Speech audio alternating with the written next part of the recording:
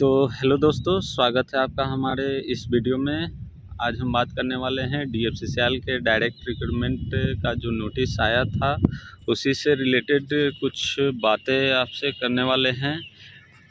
इसका जो D F सी का जो रिक्रूटमेंट आया है 515 प्लस सीट के लिए, जिसमें आईटीआई और डिप्लोमा लेवल के जो पोस्ट थे, जूनियर एग्जीक्यूटिव और एग्जीक्यूटिव, दो पोस्ट के लिए फॉर्म मांगे गए थे और जिसमें अलग अलग पोस्ट थे, विभाग के लिए अलग अलग पोस्ट थे तो फॉर्म फिल हो चुका है। फॉर्म फिल हुए वन मंथ का टाइम हो चुका है। अब आपके एग्ज़ाम का समय नज़दीक आ गया है। ये फॉर्म जब आया था, उसकी डेट थी बीस मई 2023 को। और इसका क्लोजिंग हो चुका था दोस्तों, उन्नीस छः 2023 को। और ये 26 और 30 तारीख को date of opening the window for application form correction अगर जिस भी व्यक्ति ने अपना करेक्शन नहीं किया था फॉर्म भरने में कोई गलती हुई थी, उसके लिए डीएफसीसी ने एक टाइम लाइन रखा था। 26 जून से 30 जून के बीच का टाइम दिया गया था, जिसमें कि आप फॉर्म फिल करने टाइम में आपका कास्ट में, नाम में फादर्स नेम मार्क्स वगैरह में जो भी अगर कोई गलती हुई होगी तो उसको सुधारने का डीएफसीसी ने भी चांस दिया था। तो बेसिक ये सब डेट ख़त्म हो चुके हैं। आज हमारा 21 जू, जुलाई, तेईस जुलाई का समय है। तो आपके पास, अब टाइम ज़्यादा बचा नहीं है और इसका टेंटेटिव जो शेड्यूल है फ़र्स्ट सीबीटी का, देख सकते हैं, अगस्त महीना ही है। तो अभी से लेकर के अगस्त के किसी भी डेट में पंद्रह से बीस तारीख के डेट में कभी भी इसका एग्ज़ाम हो सकता है, या तो अगस्त के फ़र्स्ट वीक में ही हो जाए।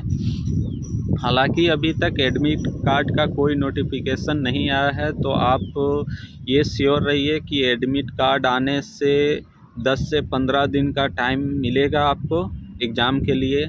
तो एडमिट कार्ड का कोई नोटिस नहीं आया है तो अभी जो इधर सेवन वीक का टाइम बचा है सेवन डे का जो अभी टाइम बचा है, इधर सेवन डे है इस मंथ में, जुलाई में।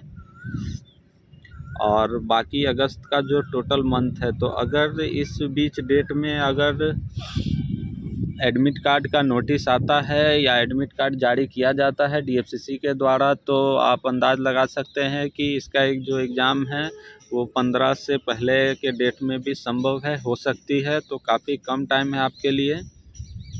और अगर नोटिफिकेशन ये जुलाई मंथ बीतने के बाद जो है एडमिट कार्ड का नोटिस आता है तो ये जो परीक्षा होगा, वो पंद्रह अगस्त के बाद भी हो सकती है। तो मिला जुला के आपके पास टाइम काफ़ी कम है और जिसने भी तैयारी अपनी अच्छी कर ली होगी, उसका सिलेक्शन इसमें पक्का है। डीएफसीसी काफ़ी अच्छा ऑप्शन है दोस्तों।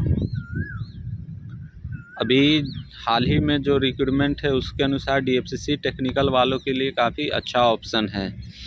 फिर आगे हम बात करते हैं। कि इसमें जो एग्जीक्यूटिव और जूनियर एग्जीक्यूटिव एग्जीक्यूटिव में टोटल कितने पोस्ट थे? एग्जीक्यूटिव में एग्जीक्यूटिव सिविल पचास पोस्ट जो थे, उसमें डिप्लोमा का जो मार्क्स मांगा गया था डिप्लोमा का क्वालिफ़िकेशन नेक्स्ट जो है इलेक्ट्रिकल भी थे एग्जीक्यूटिव इलेक्ट्रिकल में तो टोटल तीस पोस्ट थे।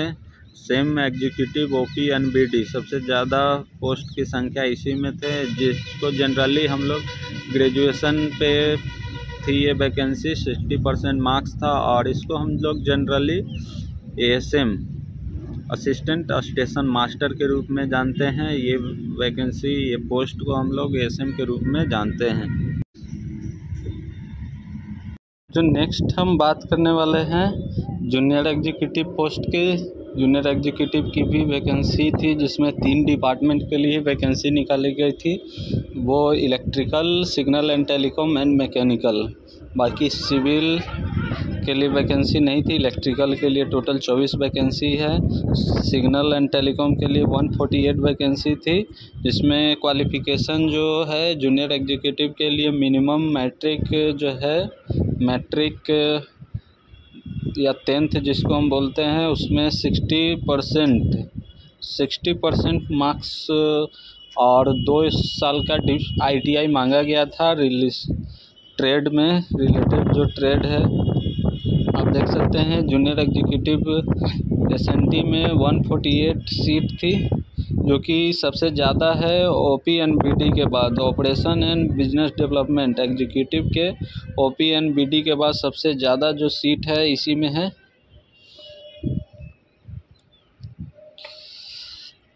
मैकेनिकल की काफ़ी कम सीटें हैं, नौ सीटें ही रखी गई है। तो ये जो वैकेंसी थी और इसका अपडेट एग्ज़ाम का नज़दीक आ गया है। थोड़ा सा हम सिलेबस के बारे में फिर से बात कर लेते हैं। सिलेबस और सिलेक्शन प्रोसेस। सिलेक्शन प्रोसेस का पहले हम देखते हैं, जो सिलेक्शन प्रोसेस है, फॉर वेरियस पोस्ट के लिए एग्जीक्यूटिव और जूनियर एग्जीक्यूटिव।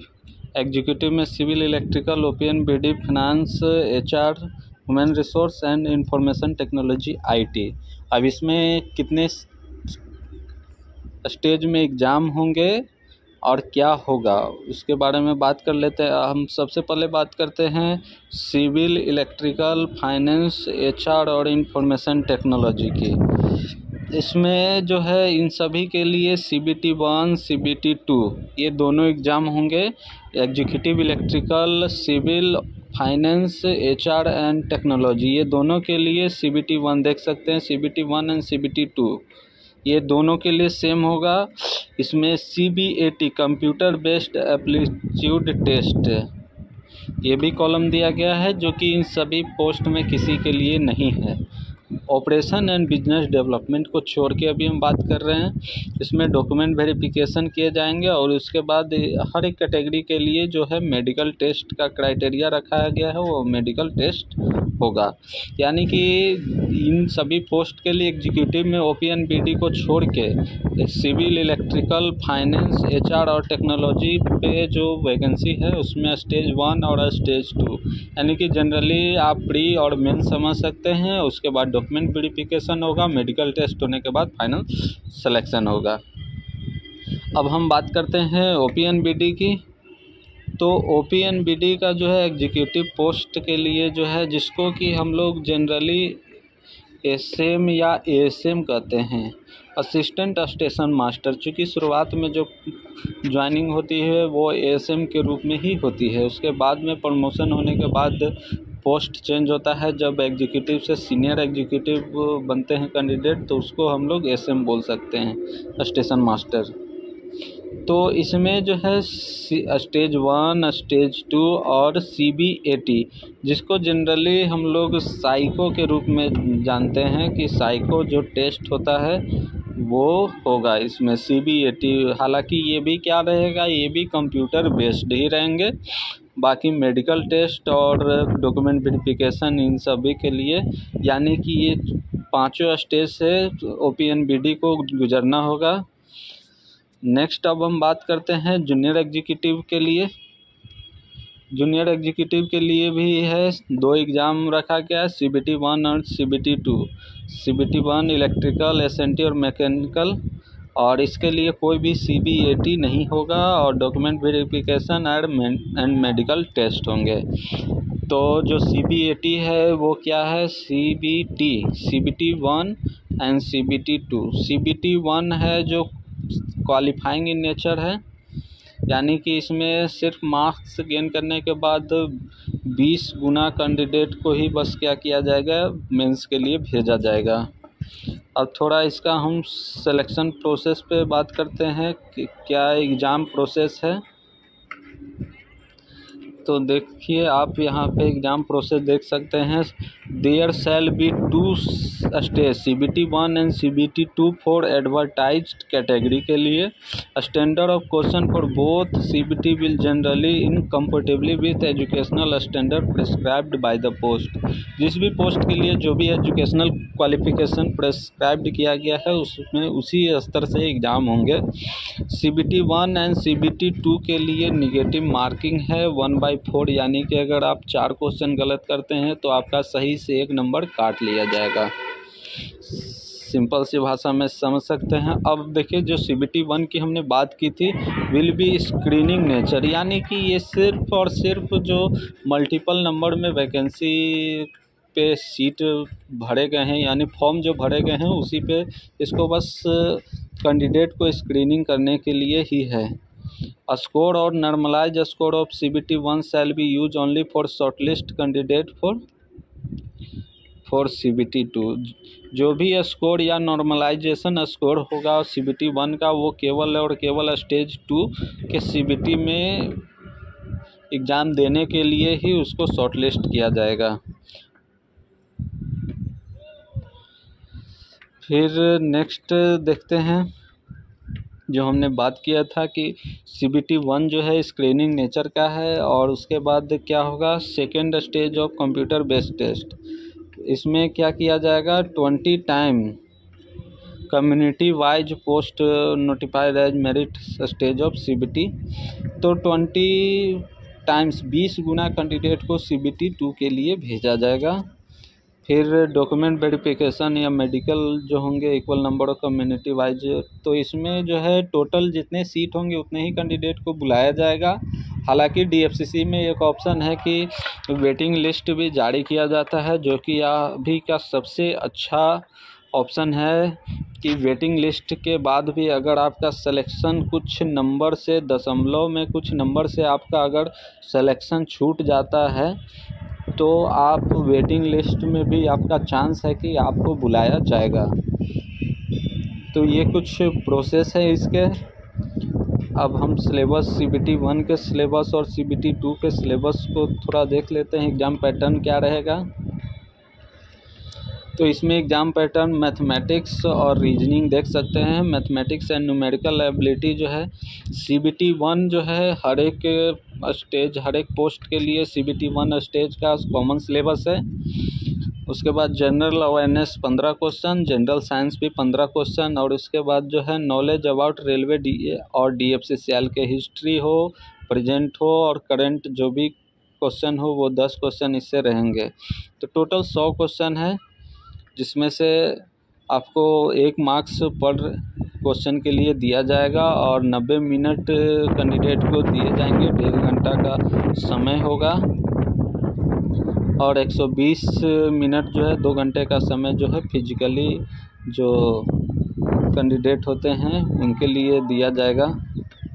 और सेकेंड स्टेज की बात करते हैं तो सेकेंड स्टेज जो है, वो 120 क्वेश्चन का होगा और वन मार्क्स प्रत्येक क्वेश्चन के लिए दिए जाएँगे और 120 मिनट का समय भी दिया जाएगा। और ये ही जो होगा, वो क्या होगा? वो क्वालिफाइंग होगा, जो मेरिट लिस्ट के लिए होगा।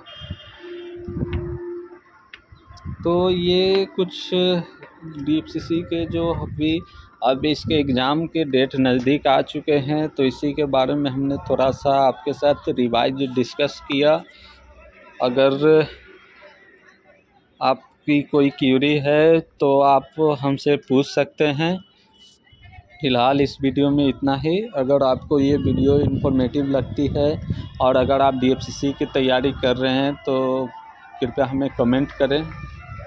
धन्यवाद दोस्तों।